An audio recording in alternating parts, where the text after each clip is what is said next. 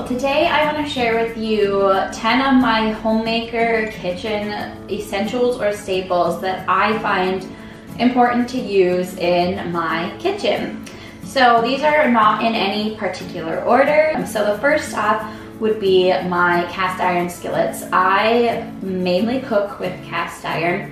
Some days it's three meals a day in my cast iron skillet, definitely breakfast every day. I have three different sizes and I just love using them. They're pretty easy cleanup, uh, no soap that you have to use. You just kind of scrape it down, wipe it out, and then of course you have to season it every once in a while. And so I just love my cast iron. That's probably truly my number one. Um, second is my Dutch oven. This I love because you can cook on the stove top or you can put it in the oven or both.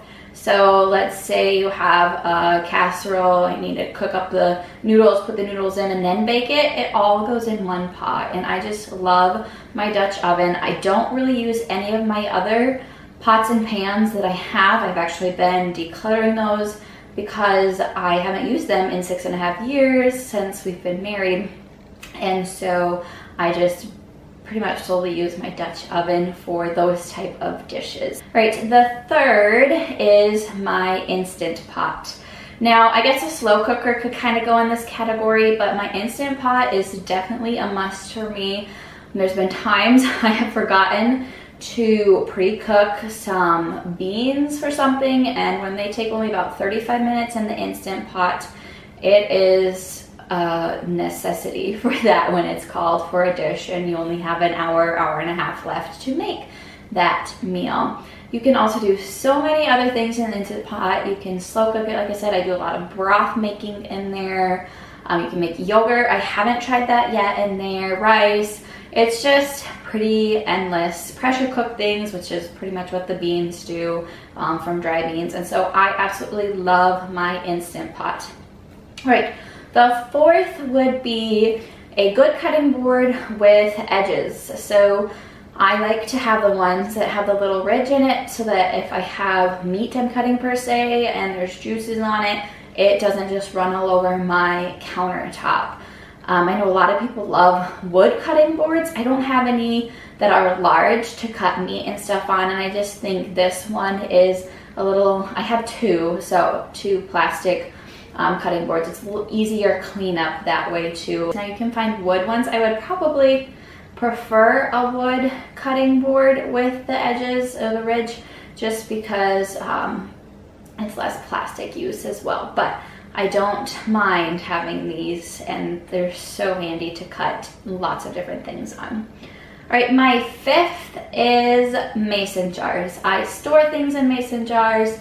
I drink water from mason jars. We have smoothies regularly in our mason jars. I can in mason jars.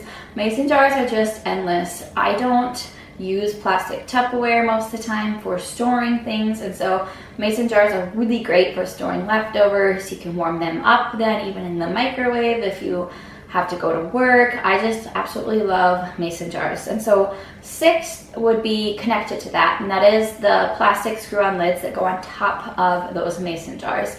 Those are super handy for storing things and honestly like my snack cupboard I like to have kind of a streamlined look so I have my mason jars in there with plastic lids or in the fridge I put those lids on there and then you can actually write on them and say what it is or when the broth should be used by or whatnot. And I have gotten several from Amazon, so I'll put that link in the description box for you if you are interested in those.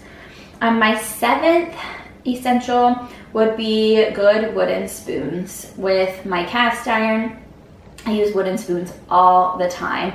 In Dutch oven, stirring anything. I really don't use a lot of metal or plastic. Um, I just prefer to use wooden spoons and different varieties like slotted, the more rounded, or flat to help ground the meat, um, whatnot. I just really enjoy using my wooden spoons. My eighth, and this has become one of my favorites more so recently, is a food processor. Now this one you probably could live without. It just would take a lot more time to do things with. For example, shredding carrots it takes 30 seconds to shred carrots in the food processor or shredding a block of cheese because I don't like to buy the pre-packaged um, bagged cheese just because of that coating on there.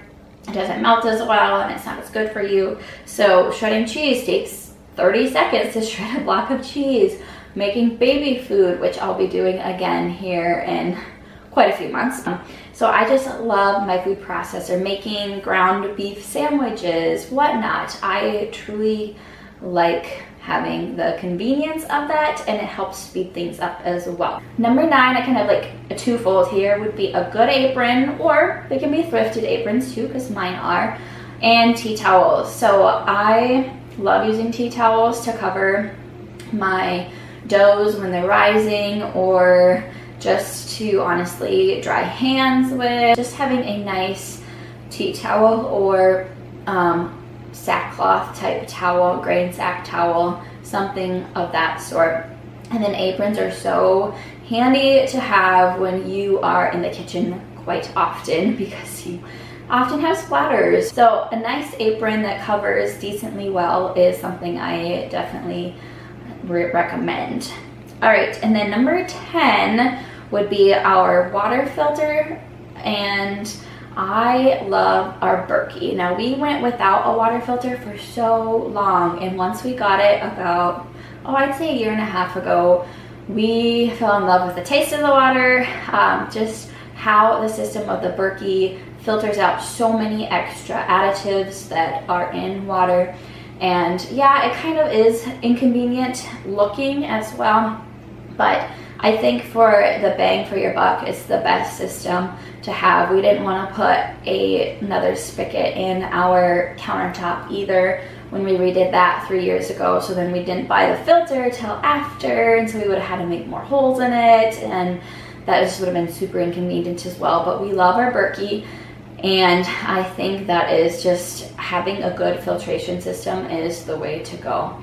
So those are my 10 kitchen essentials that I truly think have helped me become a better homemaker in the kitchen and make processes a little faster, a little easier. Um, what are some of your favorite items that you use in the kitchen that you feel like you couldn't live without? I'd love to know. But anyways, I hope you are having a blessed and wonderful day and I will talk with you in my next video next week. Bye.